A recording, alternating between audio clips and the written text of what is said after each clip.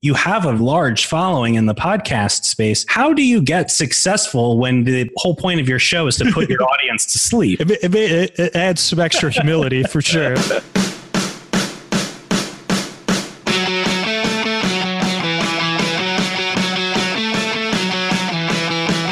Welcome to Self Made and Sober. I'm your host, Andrew Lassise, and in this show, I'm going to be interviewing entrepreneurs and other people who are not only crushing it in business, but they have also struggled with addiction in the past and are currently in long term sobriety. And be sure to subscribe if you like what you're hearing so that you can get notified each time we put out a new episode. With me today is Drew Ackerman, aka Scooter of the Sleep With Me podcast. Drew, how are you doing? Pretty good. Thank you so much for having me on. It's a beautiful day uh, today where I live, so uh, I'm excited to talk. Yeah, I'm really excited to hear what you have to share with us. And so, not only do you have one of the more successful podcasts out there, but you're also somebody who struggled with addiction and alcoholism in the past as well, right? Yes, yeah. And the kind of two are like interlinked in, in I guess, ways I'm still discovering even now. Yeah. What year did you get sober? Actually, the last time I had a drink was uh, somewhere between December 23rd and December 24th, because I'm not sure what time it was, uh, 20, 2013. So uh, it's been a little while now. Have, uh, but yeah, I'm not sure exactly on the exact, if it was like uh, midnight or two in the morning or four in the morning, but somewhere uh, right around Christmas Eve was the last time I had a drink in 2013. That's funny. My my sobriety date, I guess, is one of those amorphous things as well. I claim the 23rd because I started drinking on the 22nd of March. Was the last time that I did it, so it probably did carry over. But if we were going like West Coast time, I'd probably be sober on that date. So so we're sticking to the 23rd just for for mine. Cool. Well, happy birthday because it's right, right when we're recording this. It's right around that. Congratulations. Yeah, three days ago was six years, which is that's awesome. Wild and and today is the five year anniversary of my company. And they say most companies go out of business in the first five years. So nice. last night at, at 1030, I was saying to my wife, I was like, if we don't go out of business in one and a half hours, I'll have hit the five year mark and we'll beat the statistics that people are going out of business in the first five years. That's that's amazing. So walk us through what's going on in your life leading up to when you decided to get sober. Yeah, so for me, think about it, it's like I think like I was alcoholic probably from birth. I mean, however you want to parse it, but like even thinking about the things I struggle with now as a sober person, I'm like, or, or what led me to drink, I'm like, oh wow, a lot of that stuff was there as I became a, a little person as a kid. And, and as a kid, I had a lot of anxiety and a lot of issues with authority figures, even in grammar school and a lot of escapism. I mean, when I was a kid, it was for reading and daydreaming and staring at clouds and stuff like that. But I also had insomnia in uh, fifth and sixth grade, and I couldn't sleep because I had so much trouble at school. And uh, the podcast kind of leads back to that. And then in high school, I discovered alcohol, and I think I had drank like a few times before the first time I really got drunk. And it is one of those moments like that a lot of people talk about, like where it felt like transcendent to me the first time I really got messed up. And I can remember it in detail. And, it, and the night went horrible. I cracked my kneecap, and, and it was like I got a bunch of other people in trouble. But for me, it was still like this moment where I felt like I discovered like relativity or something. Jeez. And that was uh, somewhere around 15 or 16. And then I had grown up in a household where my dad had gotten sober like around when I was six or seven, but my mom was from a big Irish Catholic family that all lived in the town I grew up in. And I grew up in uh, Syracuse, New York, and alcohol was a big part of that family's life, like just a part of celebrations and stuff. So it was kind of like a little bit before I started drinking, confusing, and then once I started drinking. I, I don't know, like I, I, I, I loved it. And I guess it's weird to say but at the time I, I, wasn't good at very much and even in high school and, and, into the later years i was like wow i'm pretty good at drinking like I, like i found my thing yeah and and uh, I don't know. I used it to escape. I used it to sleep. I used it to feel like I fit in. I used it for, I mean, mostly it helped me get out of my own head and, and all the voices and the criticism I kind of had. It just gave me some numbness and some distance from that. And I thought it was the solution to a lot of things. And it was just part of who I was. It was really a big part of my identity. And for a long time, I just considered myself a drinker. I guess like there was times my drinking caused problems. But for the most part, I was just like, oh, this is just who I am. And as I started to get into my like 30s and issues started to come up, like uh, I was married, and so there was relationship issues. I had a business at the time, and the business ended up going bankrupt. And you know, I just wasn't ever happy, and career issues and depression. I always blamed myself and not the alcohol. And I was like, oh, if I could just fix who I was, it'll be fine. and, and and every once in a while, someone would say, "Oh, well, what about you know stopping drinking, or what are you doing? You think that alcohol plays a part?" And I was like, "No, no." Like, and I, I was being honest at the time. I was like, "No, no, I'm a drinker. I'm not a drunk." And it, it just got worse and worse.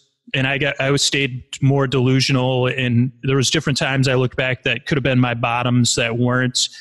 And it did get to the point where a few times towards the end, like I'd lost, I'd gone bankrupt, I'd lost my marriage and hurt the person I was married to. We had a daughter and trying to manage that relationship. I mean, she was only a couple years old at the time.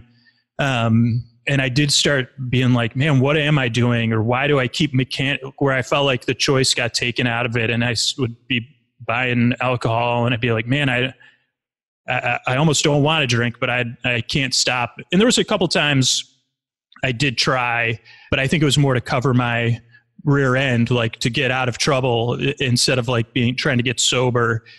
And eventually, I still couldn't realize my own bottom. And what happened was a couple people around me had some really bad bottoms, and and not only the, the, their bottoms kind of scared me, but it was more that I drank a lot with them, and I felt like they were a cover for me in some sense. And I was like, wow, if they get sober and start drinking, like uh, there's nowhere for me to hide now from the f- friends or family. And so it's almost like still that kind of selfish ego based mindset of like oh man like i'm going to be in bigger trouble than i am. And i was going to therapy again because a lot of times i was like oh like this is going to fix it and i remember telling my therapist like well maybe i'll plan on getting sober like because it was going towards the holidays and i was like i don't want to ruin my holidays and get sober before the holidays and i remember the therapist was like and I had lied about my alcohol use to the therapist. So this was like I was finally getting honest. So the therapist, their mind was kind of blown, but they're like, "Are you listening to yourself?" They they were kind of trying to point out how ridiculous my thinking was. And then uh, what happened is, uh, you know, all those things kind of coalesced, and then I got really really sick, and and I just couldn't drink for like a couple days. Like I was just so sick, and it was around the holidays, and I guess I was like, well, um, I took it as a, I had I didn't take it really as a sign, but I was like, oh, let me just try to not drink and see if I could do this. And I started going to meetings and sitting in the back of the room quietly and and and you know afraid and scared and and wondering if I could make it to 4 days or 5 days or 1 month. I can still remember my first couple months and and again just like we talked about like okay, I don't even know how I'm going to make it six months without drinking. And so it was for me like it, it, was one of those one day at a time things in a sense of like, okay, I could always drink tomorrow. And that really, really helped me of like, okay, I'm just not going to drink today, but I can drink if I can make it six months. Uh, like I, I, can drink it six months. I just am not going to drink that till then. And another part of thing that helped me or mental trick I used was like, pretending I was a scientist. And I was like, okay, I'm just collecting this data. I have 30 years or 35 years of being drunk. Uh, and I know what that's like. So, what would it be like if I strung together six months? Like, what would my life be like? And and I again using that trick of like, well, I don't want to ruin this data. Like, I've had I have six months of data. If I get seven months, what will that be like? Um, and yeah, I started. I was going to meetings. I, I was working the steps and uh, working with a sponsor. And I've gone in and out of using the program and, and, drifted away and drifted back. And um, I've tried to work like on my relationship with my higher power it hasn't always been easy. Like I have been able to stay sober, but it hasn't always been easy. Not being a dry drunk in, in some sense, and uh, you know, but I, I've tried to practice like the principles of the program. I, have tried to, to find my way on this spiritual journey and try to do that. And I have tried to kind of take everything one step at a time and also kind of grow outside of the program. Like I still work with a therapist and I still try to have a morning and evening routine. And yeah, eventually it was like I strung together some months and then it was a year and then it was like two years. And now I'm like, what the heck? Like it, it really is like, wow. Like, I don't know, but I'm never been more grateful. Like when I talk to people, it's like, man, this is the greatest gift you could possibly give yourself and the people around you and, and, especially that little kid part of me that couldn't sleep it's like man like just giving that gift to to that kid and to my daughter and to my family and, and to the people to be of service whether it's in the program or in life uh, instead of just being for me it's like fear. That's been my higher power for most of my life and, and so to not just be in the throes of my ego and my fears and yeah, at some point, uh, I started a podcast along that journey. Actually, right before I got sober, uh, which we could talk talk about too. But that's kind of how it went for me uh, in a nutshell. It's incredible. So, would you say that you have how many episodes now? Seven hundred. I think like seven hundred and fifty something. Uh, I'd have maybe seven sixty. Yeah. Yeah, it's a pretty big number for sure. And when I was first introduced to your show, it you know in the introduction you kind of say like most people say it takes a couple episodes before you really understand what's going on here. And for those that haven't listened do you want to give sort of a, a brief overview of what your podcast is and why you made it to begin with? You mentioned the child you that couldn't sleep and i know that was sort of part of the giving back. So you want to elaborate on why you started and what the goal was yeah, so I make this podcast called Sleep with Me, and it's a bedtime story podcast for adults. And that's kind of like doesn't actually describe it that well, but it's the best way to describe it. It's almost like you're in bed with someone and they're telling you a boring bedtime story, or you're calling someone on the phone. Uh, though that doesn't really happen anymore. Like I don't know how many people call each other on the phone at night, but like you're calling someone on the phone and they're telling you about their day in very minute detail, or they're spinning you a fantastically boring story that's also distracting. And the goal of the podcast is just to be distracting enough to take your mind off of whatever's keeping you awake, but not be so interesting that you have to listen. And yeah, it goes back to when I was a kid in, in fifth and sixth grade. Like I was having a lot of trouble at school. I was terrified to go to school because I knew that I was going to either get in trouble or do something to either embarrass myself or to, get punished by the teachers. I was going to a Catholic school, so I had these very strict nuns. And it just became this place I couldn't stop thinking about at night. So I never forgot like that lonely pain. And, and even when I told my parents, you know, I can't sleep, I was the oldest of six kids, and they were kind of like, well, just try to think of something nice or try to uh, like relax. I think they wanted to help, but it's just like, and I find this with the podcast, it can be confusing for someone that can sleep to understand how bad it is when you can't sleep, the, the, the existential pain that you feel. And I remember I was on the uh, at recess with another kid, and I was telling him about it, and he was like, "Well, my older brother listens to like comedy radio shows on the radio. Was, why don't you listen to those? They're on at like nine, 10 o'clock at night." And I started listening to comedy radio, and it never put me to sleep, but it made me forget about just took me outside of my head, like kind of like alcohol did, like like where it just made me forget all my thoughts, and it was this pleasant distraction. It didn't have any consequences uh, other than being a little bit tired for school. I never forgot though that feeling of escape and safety. That just laughing and hearing someone, it felt like they were just there to keep me company. And then over the years, like I've told people in my lives bedtime stories, whether it's like kind of friends hanging out at parks or partners or, or whatever, like uh, camp people on camping trips. So when I started listening to podcasts and realizing you could kind of make a podcast about anything, I was like, how come there isn't any like uh, goofy bedtime podcasts like the comedy show I listened to? I was like, oh, I wonder if I could do something like that, but to help people fall asleep. And I have a very developed inner critic, even though I'm sober, it's very strong. My internal critic was like, no, that is a stupid, stupid idea. And I was like, oh, okay. I mean, this was before I got sober anyway, but uh, it's still there. And, I was like, okay, I won't do that podcast. And then a year went by and I was like, oh, wait, I, I, I love listening to these podcasts. Like, why can't I make a podcast? And it's like, because uh, you're an idiot. That's why. Like, it'd be embarrassing. You don't know how to make. And I said, oh, okay, you're right, you're right, you're right. And the idea just kept bubbling back up and I, and the critic was in charge of me. It was like, no, no, no, you can't do that. You don't know how to make you don't know how to make audio. You don't know how to be on the microphone. You're not going to follow through on that.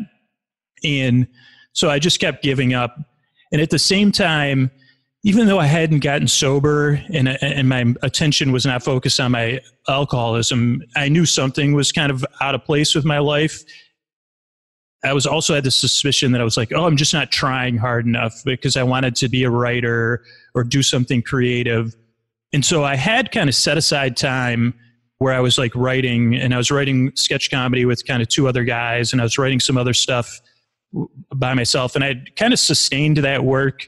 Somehow I'd carved out some space uh, to do that and follow through. I, I think like my drinking probably got in the way of me progressing at it, but at least I kind of had set aside time to do that.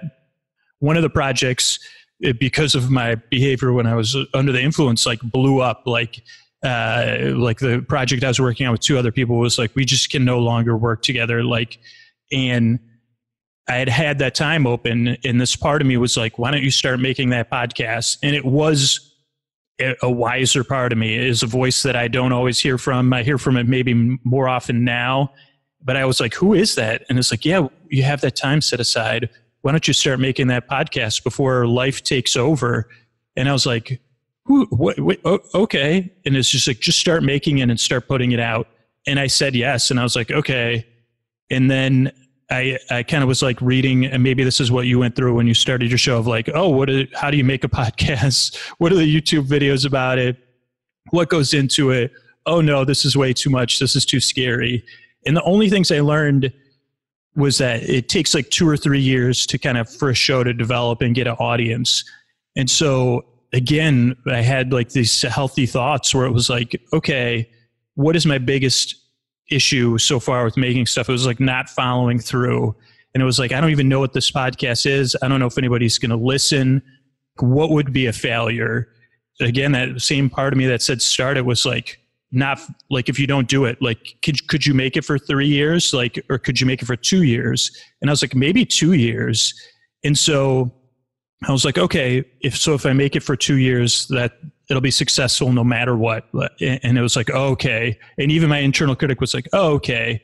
And then I also like broke it into smaller parts. Like I was like, okay, I had heard the statistic that most podcasts that make episode one don't make episode two. And that most podcasts, like 50% of podcasts stop between those two. And I don't think this is actually, this is like paraphrasing, but that another 50% of podcasts that make episode two don't make it to episode eight. And then another 50% of podcasts that make episode eight don't make it to episode 21. And then another 50% drop off between 21 and 50. And so I told my critic, I was like, well, what if those, we use those points too? Like, can we make two episodes? And then if you want, we could quit. Like, if you're going to harass me and tell me what a failure I am and, and how bad this thing is, can we just make two episodes? And then can we just make eight episodes? And if you want uh, eight episodes, we'll quit. And uh, those were the kind of bargains I had to strike at the beginning. And I just started making it. I started in October 2013.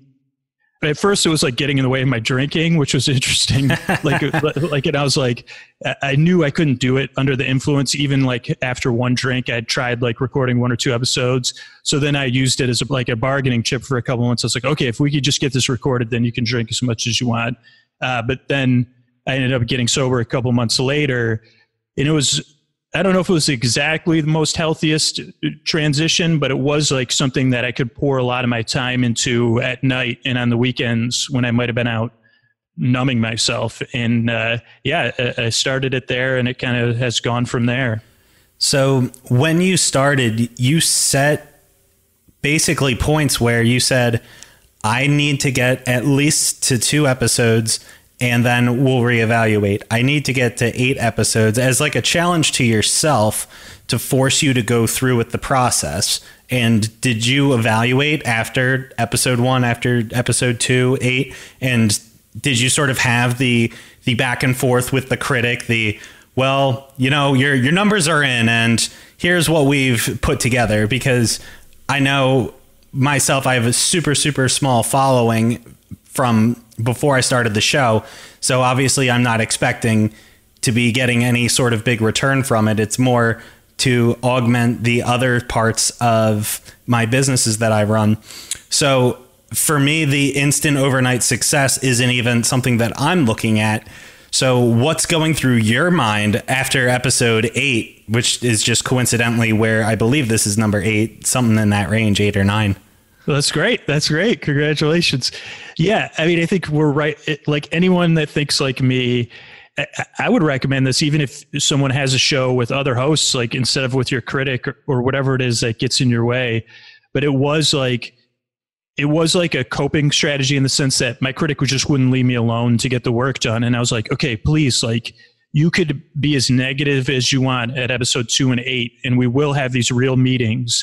If you just please let me make these other episodes, I, I'm promising you this isn't like we will stop. And very similar to you, like I had no following. So, and I did, and maybe this did help me like grow, and it was the right time as far as like, I was able to be compassionate with my critic in some sense and say, I totally understand that you think this is going to end in total disaster and humiliation. And that this other part of me, this dreamer part of me, was like, geez, I just wish we'd have like a million listeners right away. And, and shouldn't we have a million listeners? Like, why isn't that happening? So I kind of like did have like enough space to say, hey, those are legitimate concerns. Let's just talk about them at episode eight. And then it, it, it was hilarious because it would be leading up to that meeting of 8, 21, 50, 100. And I would find little positive things like, oh, eight people are listening to the podcast. Or, or early on, I didn't even get any feedback ever. So it's like, oh, well, we did follow through. Or, oh, this episode was a little bit better than this one. Or, oh, this is kind of fun. I'm having fun. And so when I would sit down with the critic, it was the most paper dragon, paper tiger situation where he'd be like, he'd be screaming at me up until the meeting. And then I'd say, all right, so this is like some of the good stuff that's happening. I know we don't have uh, tons of listeners or we haven't gotten it. We got one email or whatever, but I still think it's pretty going pretty good. Like, what do you think? And it would just be like, there'd be silence. Be like, well, don't you have any bad? Should we quit? What do you think? Uh, no, I guess not. I guess we shouldn't quit. It's like, okay, well, but what about when you were screaming when we were walking to the meeting that this was a disaster? Like, this is your time to make your presence. No, I guess we should keep going. You're right. And so, yeah, that really has worked. In the times that the podcast has gotten the hardest and that I've started to overthink things and get in my own way is when I haven't, like, I think once I hit episode 100, I was like, okay, now I just want to make it to two years. And I didn't have any breaks, like, where I, like, kind of reassess things like we're talking about and that got really hard like and then i think after two years i was still trying to make it to three years and where i, I did lose my way or like panic or just grind and, and wish i was in control of things that weren't in my control the little steps work not just with not drinking with a lot of other stuff too yeah so a big part of recovery for a lot of people what I've find, and this actually translates into your enthusiasm with the podcast. It, it it translates into when I'm doing business coaching with the response that I see a lot with my clients. It's very, very, very similar, where you will start out with something and be on top of it 100%. Everything is perfect, everything is crazy, but you continue to go through with it and you're getting very, very noticeable results immediately. And then it kind of gets to a point where you sort of reevaluate. In sobriety, for a lot of people, it's right around the six to nine month mark where they're like, you know what? I put in a whole lot of effort and I felt a whole lot better. I think we're good now. And in business coaching, I'll work with people and it'll be shorter. It'll be my business had a million problems. That's why I sought coaching. And then we get through them and it's a month later. And then it's, well, I'm good now that you put out all those fires in my life. So I don't really need help anymore because the big issues were tackled. So, what's something that you're doing just to keep you going, even though at the time it may not have been a huge success? Was it just the deals with yourself? I mean, I think it was like I was lucky in the sense, yeah, it was the deals with myself. It was that for me, part of the journey of sobriety too is like realizing, and I know not everybody has a relationship with the kid side of themselves, but for me, I do. And it was like how much I traumatized that part of me and just ignored my own needs of like, I mean, not only the people in my lives' needs, but that part of me that wanted to try to do stuff or try not to be afraid all the time. Where I was like, be quiet, kid. Like, just be quiet. And so I think, yeah, initially there was this buoyancy where it was like, wow, I get to make something and you're going to be here to follow through and help me. And then it would get hard.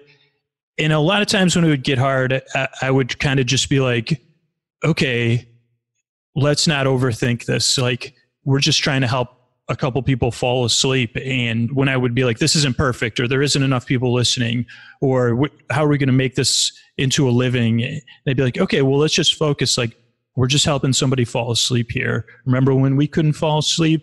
And it'd be like oh yeah. And then as eventually like after like six to nine months i would get occasional feedback for the show. I mean it took that long for me. And, then i would be like oh, okay here's a real person that you're helping fall asleep. And to kind of it just went from there. And, and again, I, I also looked at it like this experiment of like, okay, well, like uh, this didn't go good or this went good. There's other times though that for months I would go down the rabbit hole of being like, oh my gosh, I got to get more listeners. What can I do to get more listeners? And so I would exhaust myself. And, and so sometimes it was making mistakes and then being like catching myself at least at some point and being like, oh, what am I doing? Or asking for help, whether it's somebody in the program or somebody in podcasting being like, hey, I'm freaking out about this. Uh, I mean, I remember one time, I don't know how many years, this was a couple of years into making the podcast. My listeners did a poll on Facebook where they were like, How many hours do you think it takes to make an episode of Sleep with Me? And the numbers were really low, like not accurate of how many hours it takes to make an episode. And I was freak it freaked me out. I was like, I'm so doomed. The show's not going to ever be valued in a way that I could make a living at it. And, and I was just panicking and burning, like grinding my gears. And I emailed somebody uh, that makes a podcast and she was doing it for a living. And I was like, I sent this like embarrassing email, just, just full of my needs and a really needy email. But she was in a place where she could hear it.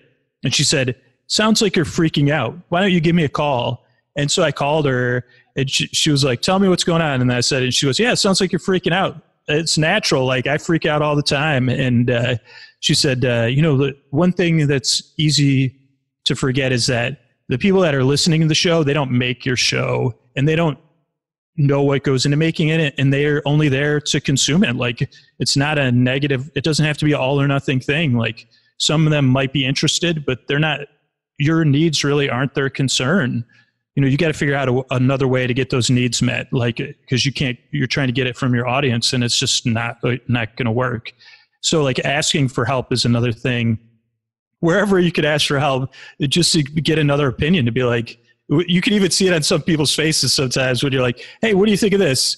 I'm, I'm and then they just give you this look you're like oh oh boy okay. I didn't, you don't have to say anything i totally uh, okay so, humbling yourself and being able to ask for help when you don't know the answer, I feel like that's something that in recovery, especially like you said, you'd done 30 some years of drinking and that's the only life you knew.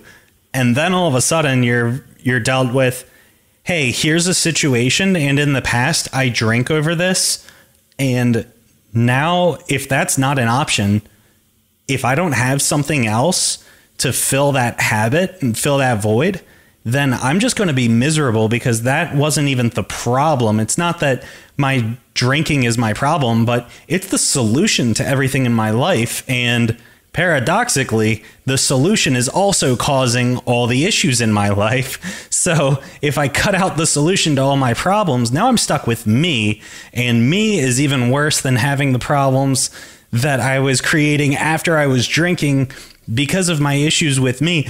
Uh, hey, guy who has even a week sober, if I've got one day, what did you do to get to a week? And they say, I have no idea. I'm freaking out, man. this doesn't work. Well, it does work. I've got a week. I've never had a week. And then, okay, ask this guy. He's got six months. Okay, guy was six months. What do I do in this situation? He's like, ah, I was in this situation once and this is what I did. And then you're like, fine, I'll try that. I don't even think it'll work. And then it works. And you're like, oh, I didn't have to figure that out and I didn't have to drink over it. And I know for myself in business when I was starting out, my first year, it was a ton of just hard headed, well, I'm a college graduate and I know how to run a business, but I'd never run a business before. And year one, we did 36,000. Year two, I got a mentor and a coach and someone to show me how to grow and scale a business. People that had already done it before, like the people were in my industry already and they were killing it. And I was just like, what do you do? And they're like, this is how you do it. Da, da, da, da. And I had dabbled a bit with hiring people, but they just told me this is what you do. You replicate this process. The next year we did almost 2 million in sales, and it's like all I had to do was just humble myself and realize I don't have to know every single answer. And if I'm just resourceful enough to know where to ask or the right questions to ask, there are a lot of shortcuts that can be taken. Now, you still have to put in the work, which I think is one of the parts where people they see that metaphorical iceberg and you see the tip of the iceberg where it's like this is success and then the bottom of it that's real deep underwater is all the heartache and the failures and the losses and the learning experiences all those things that's not what's on the surface. You know, your highlight reel is just the wins. So, what are some of the, the, failures, or at least supposed failures, that turn into learning experiences or opportunities that you've experienced throughout the podcast? Yeah. I mean, I think like, again, like, like a synchronicity of something of making the podcast, it has been able to teach me so many lessons that I've been able to apply or I've been learning lessons in sobriety and facing challenges in the podcast. And a lot of times it is uh, almost every challenge with the podcast is me when I'm like, okay, what's the base issue here? And it's like, oh wait, I, am the, that's, that's where the challenge is coming for podcasting in particular.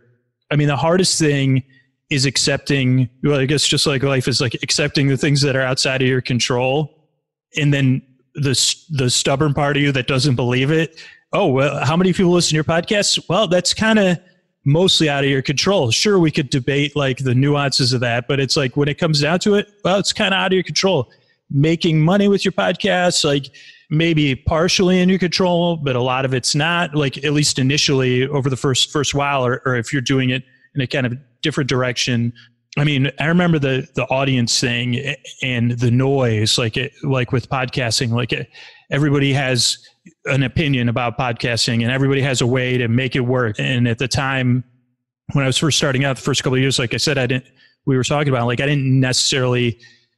I was such a suspicious, skeptical person. I wasn't in a place where I could ask somebody and for help. So I was like, "Oh, I got to figure this out on my own." So that's one mistake is trying to figure it all out on my own uh, but then it was like, oh, I that I can control this thing that's outside of my control if I just follow enough this noise. And I remember I had been putting the podcast out three times a week, which is a very tough schedule. I had a full time job, and then I had heard all this stuff about niching and podcasting. Oh, you got to control these niches. You got to dial your niche in or your niche or whatever. And so then I was like, well, what about daytime sleep podcasts? I, I got to control that niche too, or else, you know, it's going to get swept out from under me, and that'll get me my audience. So I was trying to go from working a full time job, being a co parent with my daughter, and then I was like, oh, I'm gonna also do a daytime sleep podcast, like for, for like about sleep issues. And I remember like so that it was a fourth episode I had to produce every single week, and it quickly after like six weeks, I was like not sleeping, way overdoing it, and I was still like, and and it wasn't impacting my audience. It wasn't bringing me a new audience. It wasn't an instant fix.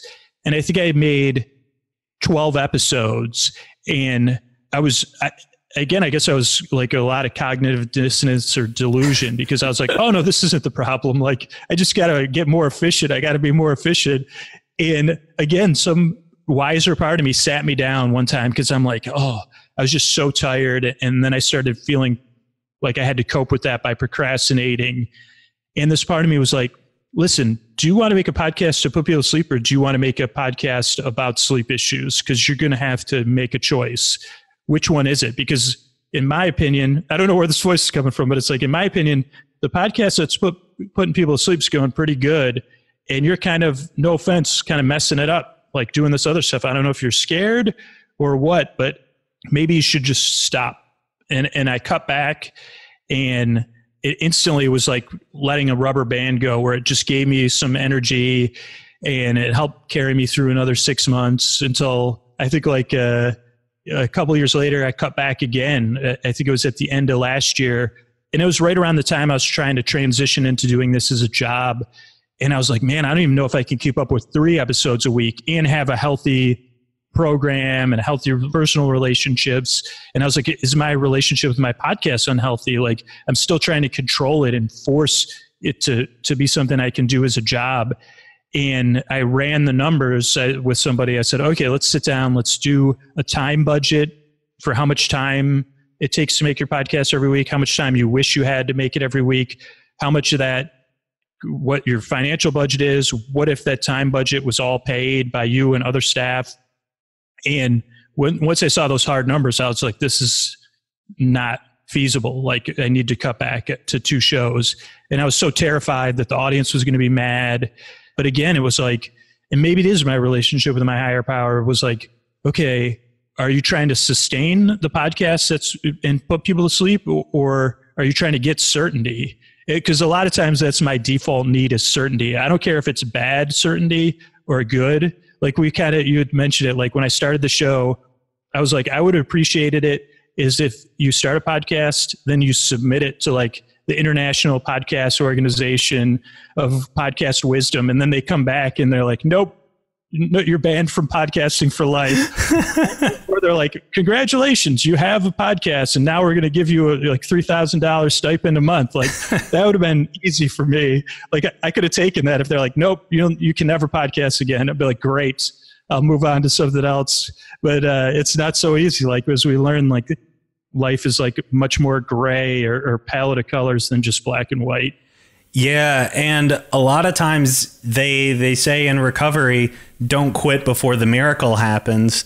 And I know for myself and my business, and it was actually if I knew what I knew now about how things 99 times out of 100 play out when I was in the situation, just for context on the background, my remote IT company, it's super, super, super under the microscope and there's a million scams in India and so we just kind of get grouped in with all of them even though it's completely different and it's in the United States so I just kind of shrugged off the well they're not going to get mad at us or look into any any upset customer ever, they're they're going to understand. You know, there's hundreds of other ones. Everybody's happy. This one person's upset. Okay, it's not the end of the world. And I was just extremely naive because it's been my experience in the last four years. This was almost one year into running the company,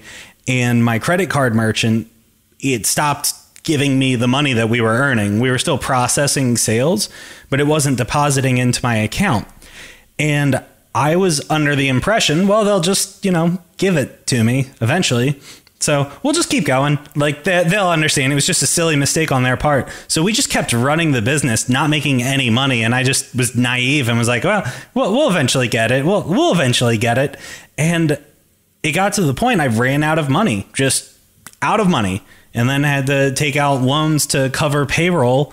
And then through a ton of great people that I met, I was able to fix a solution, have a different merchant, and great lesson learned move forward and then things really really started blowing up. But knowing what i know now if someone came to me and explained my situation i would say no you're done. They will never approve you for another account because of reasons x y and z. You're never going to get that money that you think that you're going to get. They're just going to keep that forever.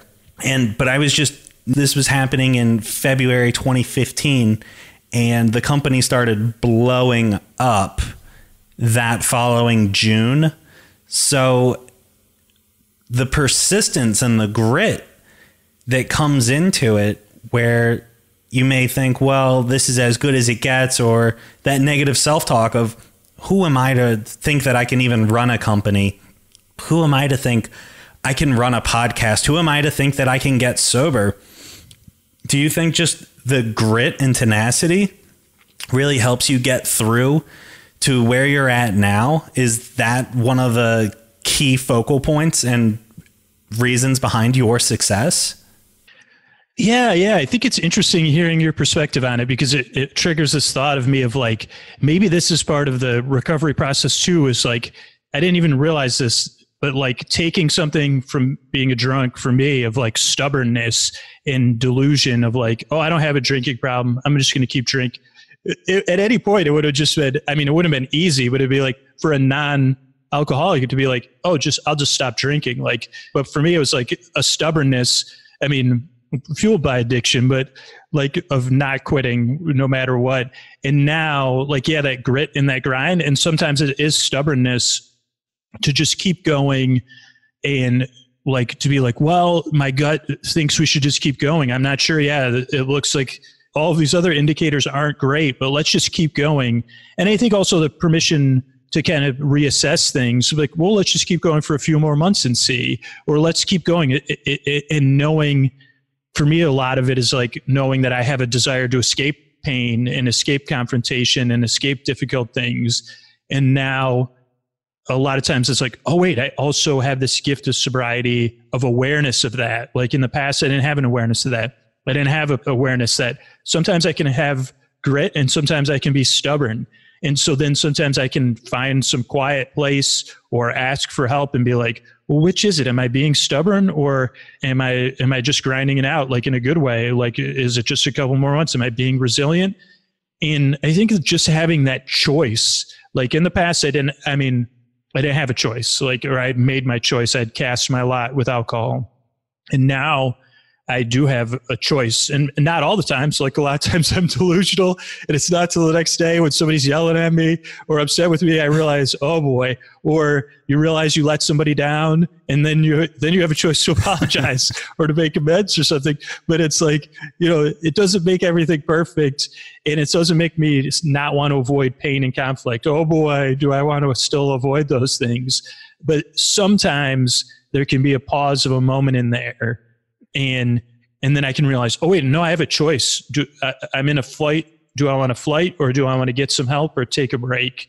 And that's like the biggest miracle of sobriety. But even though it's a small one, it, it, yeah.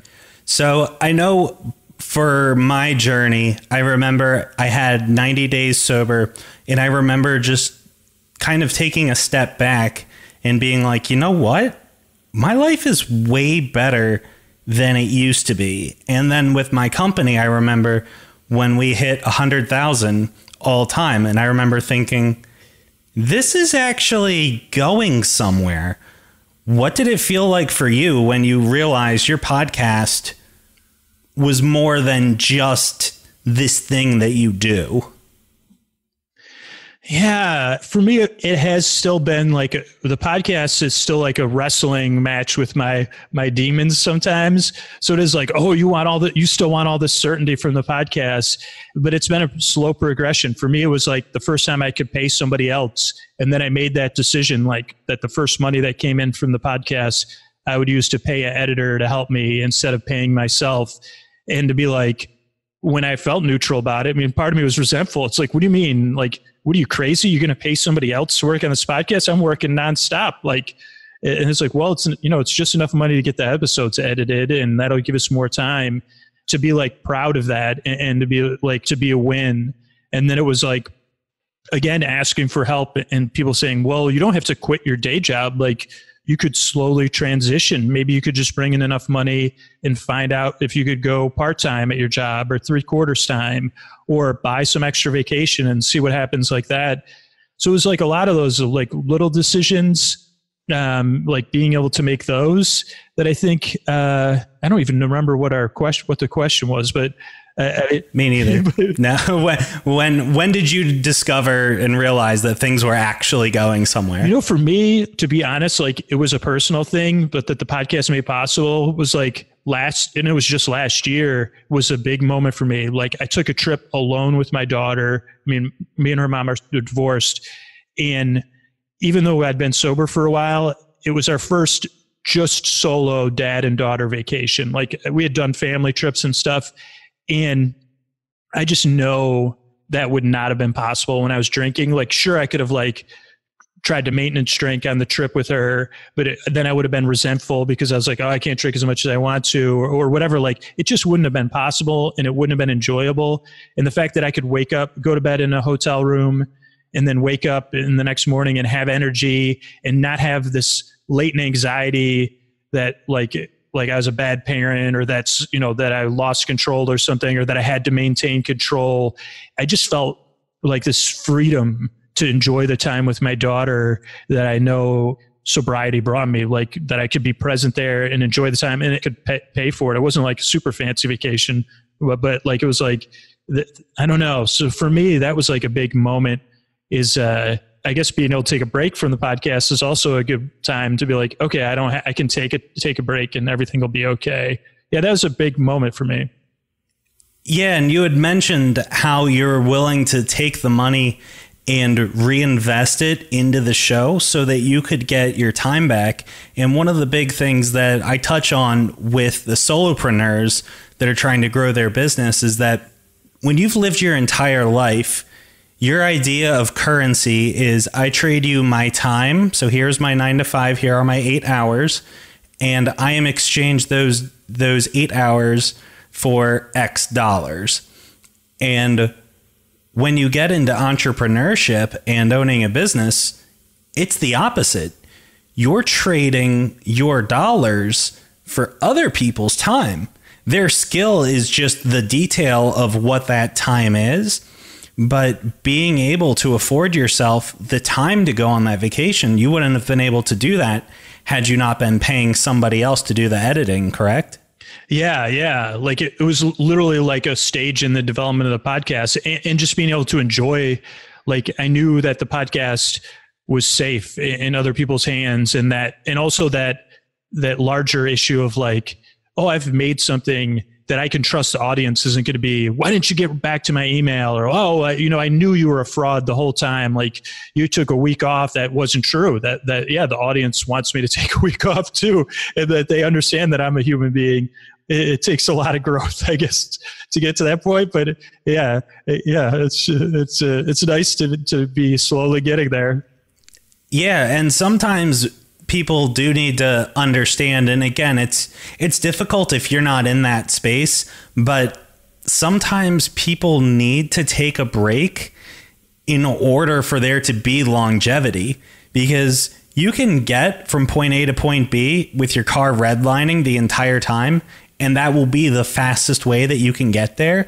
But if you expect to get from B to C and C to D and D to E and continue that journey, the car will break down if you're redlining every single day. And the lie we tell ourselves is, well, I need to make good time because that's what matters. But in all reality, when you have the tenacity to keep going, even when you take a little break, and I know that my employees will see and be like, yeah, well, you spent like a month in Europe last year. Like, you've got the easy life. And on the surface, that happened. However, when we take those breaks and steps back, it's not just about the, oh, well, you're a fraud, like you enjoyed your life. Most people get into entrepreneurship because they want to have more money and more free time. And the opposite is usually what happens. People start killing themselves working 80 hour weeks to get less money than they did when they were working for someone else with all these new responsibilities and all these new unknown unknowns because there's no way that you could possibly know everything that you need to know when you start getting into any new venture but especially business ownership and podcasting. I mean, I've been very blessed that right off the rip, I was introduced with the producer who handles 99% of everything that you guys see. I've got my graphics designer from my digital marketing company who does all of the cool things and like the pictures that go on YouTube and the video editing and all, all the cool stuff. Like I am the personality and my time is best devoted to having the interactions with the guests, but pretty much everything else is the people behind the scenes that really make it go. And because I have so many different things on my plate, I've come to understand, and that's been just my normal response to things is that, well, I can pay other people, and that's how I have the time. So people will say, well, what do you do? And well, I own an IT company and I own a digital marketing company that does web design also, and well, SEO and marketing, and oh, I have a podcast, and and I do business coaching and financial coaching, and yeah, so I, I'm kind of busy. I, I do a lot, but the things that I do, I make sure are the things that only I can do, and just like with your show, when you're telling the stories and I, I did want to touch on. We'll we'll come back to your stories, but just to finish the thought that I find people who can execute and execute consistently to get the product from A to B so that I can be focusing on working on my business, not in my business. And but just to to take a step back though, I remember I was listening to your show and I was thinking this guy must be on so many different drugs in order to come up with these stories. What's your what is your thought process when you come up with shows? Or do you have a timeline or an outline or how do you come up with these things? Yeah, so it kind of depends. Like I learned kind of the it took me about 100 150 episodes to kind of fall onto the the rhythm of the show now. So I have like three types of episodes. Like I have a TV recap style episode where I'll have like 10 pages of notes from watching a TV show like three or four times. And then I'll use the notes to kind of construct a, it'll be like a meandering recap of like what's on the background in a TV show and what costumes they're wearing and how they're holding their bodies. And then, um, like an improv episode where I'll kind of make up a story. I mean, those have developed over the years and kind of a, I'll generally try to have some plot points or some random words that I can like randomly generate or something. Or it used to be based on trends on Twitter, but that's kind of not sleepy. so, so over the past couple years, I've avoided that. But and those ones could be like fantastical made up stories or personal essays that are still kind of silly and goofy. And then I write stories for episode and th- there'll be like just like kind of Saturday morning cartoon esque, but a little bit more fantastical and weird, like you're saying. So the last series I did was a, a sci-fi series where I was trapped on a spaceship with the nuns from my childhood, and we were like tr- trying to work together because that'd be my worst nightmare. Of course, like we needed each other for survival. Uh, that was called Nuns in Space. Uh, then this season, right now, I'm in the middle of a season of a show called Big Farm in the Sky (PI), which is about a private eye in the afterlife. like he died, and in his afterlife, he's a private eye solving cases in an afterlife. It's not kind of heaven or hell, but so goof. It, it's like silly stuff to like made to like make bedtime feel less pressure and more fun, but also like the the stories are very winding, and I'll just talk about like almost anything. Like uh, yeah like okay well what kind of what you know what do they have for lunch? Uh, you know what if you were living in clouds like what would you eat? Do you eat clouds or is that how you get your water? Oh but i don't know mean to bring this up but where what are your other needs? Where do you meet those needs? Because is that where rain is? Oh gosh i'm never going to go outside. Like so stuff like that just and i have a calm meander like meandering pace. It's not for everybody because it is weird and and outside of the box it, I thought it would only work for people like me that um, are overthinkers, but it also ends up helping like other people that have like chronic pain. But I think it's just like so it's like the kind of thing people didn't know they were looking for it, and then when they find it, they're like, "Oh, this is what I was looking for," and then other people are like, "Oh no, this is not what I was looking for. I do not like this."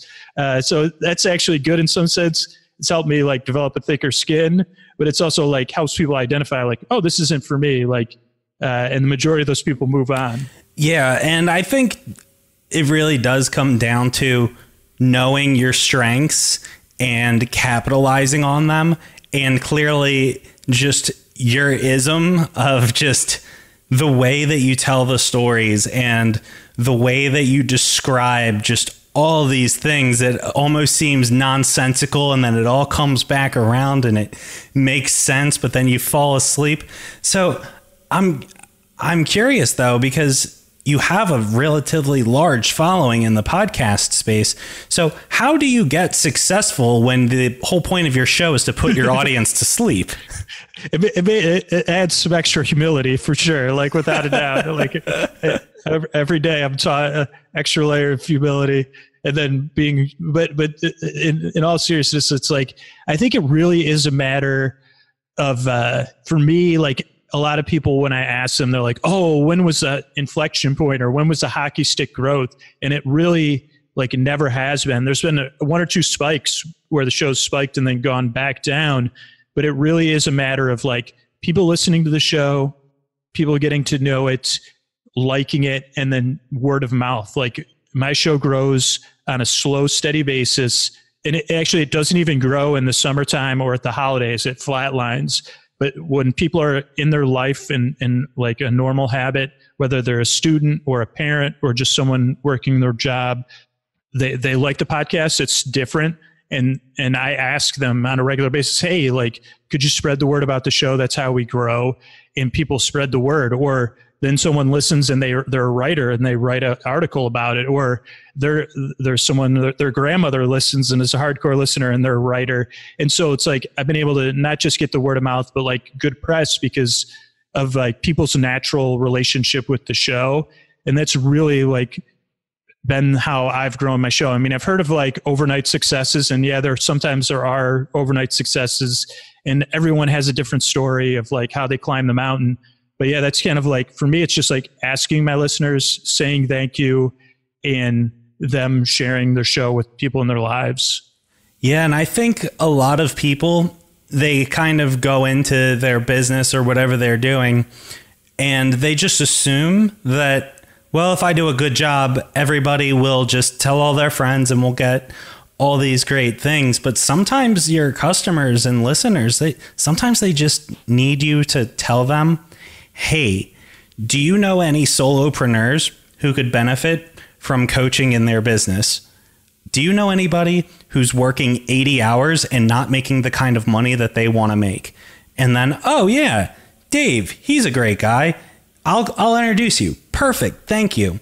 And it's not only just marketing on a selfish level, but when you're providing value and service to other people who can benefit from it, take money out of the equation. If you're just helping somebody, then if you are not asking people to spread the word, then you're doing the people that need it the most a disservice because you can be the best in the world, but if nobody knows you exist, it doesn't matter. You know, Michael Jordan, if he never played basketball, no one would be talking about him. Michael Jordan wouldn't be the Michael Jordan that he is if he never played in the NBA he could have all these skills, but we talk about him because everybody learned who he was and he put on a show for so long. And that's why you know who he is and is recognized as the greatest if we take out the LeBron like arguments and stuff, but just the Michael Jordan of Michael Jordans. So so wrapping up, Drew, what suggestions do you have for listeners who are trying to take their business to the next level or they're trying to grow their podcast?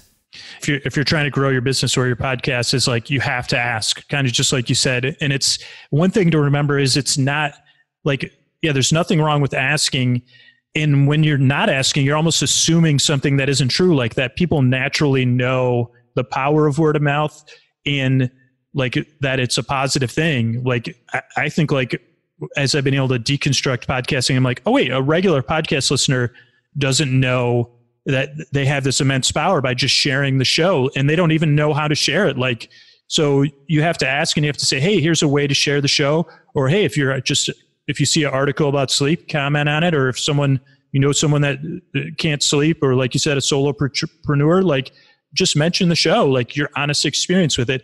And then you have to follow up and say thank you, like, and praise the people if you can. I mean, you can't always do that, but because they deserve a thanks like they're doing a huge service to you but it's like hey if this has impacted you here's some ways you can do it and it really is powerful i think like we do live in this time that there's a lot of stuff that takes whether it's overthinking or, or just cultural things that takes our power away or makes us feel powerless or makes us feel apathetic and almost like you're up against that like you're up against yourself and whatever you're, you're is going to get in your way. And then on the other side of it it's like don't get mad at people. I mean I, I get resentful about things and then i try to deal with my resentment but it's like yeah it's just not natural. Like most people you could create empathy. It's like oh i feel powerless a lot of times. I feel scared a lot of times.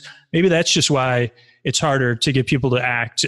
And so then it's like oh, okay, well, what are some easy ways to do it? And then, yeah, similar to that is like, for me, it's always taking a step back and breaking things into smaller parts. I mean, I know that's like a trope, but it's like, oh, why, why am I having trouble getting this done? Or why am I trying, having trouble moving ahead? And a lot of times, if I try to break that into parts or break it into five minute chunks, if it's something like filing stuff it's like oh can i file for one minute today? Or can i fi- can i file for 10 minutes or five minutes? That's been really powerful to me as like just timers of stuff i don't want to do and timing it. I love that suggestion and i know for myself a lot of times i need some outside force to just push me forward and i share this a lot with my listeners, but my to do list, every time I get an idea in my head or I see something that I need to have done, for instance, to get the photo that we'll put for uh, the advertisement with your headshot on this show, for instance, I'll have on my Trello to do list send send the picture of Drew to Eric to get done and it'll be in my list for however long until it gets up there. But my assistant will put on my to do list five things from my never ending to do list that I have to do today that are non negotiable.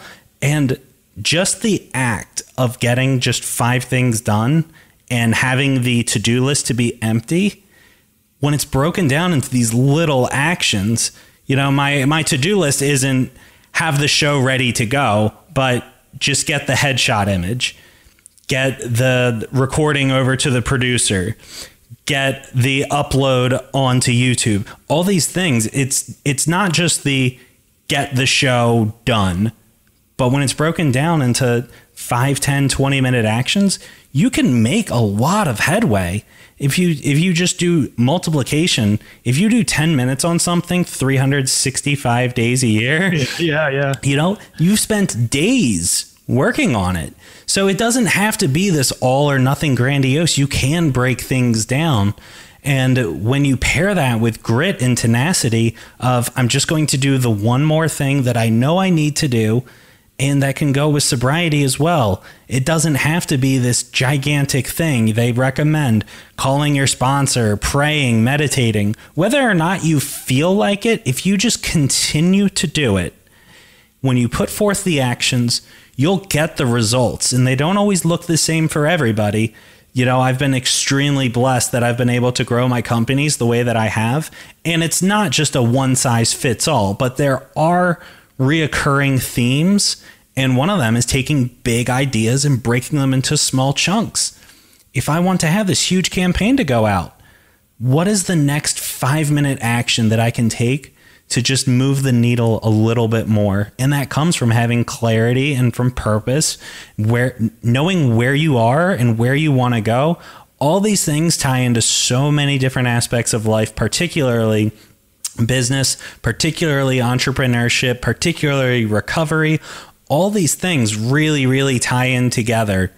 And I think it's great that you've that you've gone through with the listeners and explained how not only does the process for getting sober look a certain way, but having a successful podcast is very similar. You continue to do the process, you will eventually get the results. Some people are overnight successes. It's probably not going to be you, but that doesn't mean that you should just quit when the going gets tough because the reality is the people that make the highlight reel, there's a lot of work that goes into it. Not everyone can be a super magic overnight success or people that have a following, you know, there's there's so much that goes into all the things that a lot of people that are just sort of in the average world, they just say, well, that person's lucky.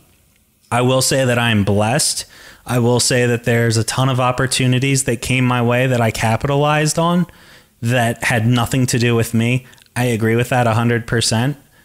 However, when those opportunities came my way, I had enough experience and tenacity to be able to recognize them and to capitalize on them. So, Drew, I don't want to take up any more of your time. Can you tell uh, listeners how they can find you to check out your podcast and any asks that you have of them? Yeah, yeah, that's great advice. I'm just sitting there thinking, I'm still listening to you. So, um, yeah, let's see. Uh, I'm at Dearest Scooter on Twitter and Instagram. Those are good places to get a hold of me. My website is sleepwithmepodcast.com. Make sure you put the podcast in there, and there's a contact form on there and the pot, you could listen to the podcast in any podcast app. You just search for Sleep with Me; it should come up. And yeah, give it a shot. If uh, and if you end up not liking the podcast, like I have a list of resources at sleepwithmepodcast.com slash no thank you. So I have like other sleep podcasts and stuff I use because uh, it's like, yeah, it doesn't work for everybody. Uh, but yeah, thank you so much. It's like, uh, I totally agree. Like I'm so grateful uh, that I get this ongoing opportunity. And uh, yeah, this, thank you for this opportunity to share. Like hopefully it helps and if anybody out there thinking about starting a podcast or struggling with sleep in the audience like hit me up for sure awesome well thank you so much for your time and take care all right thank you Hey, this is Andrew, and I just wanted to thank you so much for listening to Self Made and Sober. As you know, I'm a business coach, and if you're interested in taking your business to the next level, go to lassisecoaching.com slash 30. That's L-A-S-S-I-S-E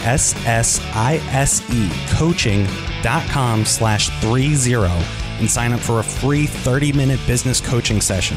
I've helped tons of entrepreneurs grow their businesses from pure chaos to six, seven, and even eight figure operations. Heck, I even 48x'd my own company from year one to year two, and I know I can do the same for you because I've been there and I want to help. So that's lassisecoaching.com slash 30. And again, thank you so much for listening to Self Made and So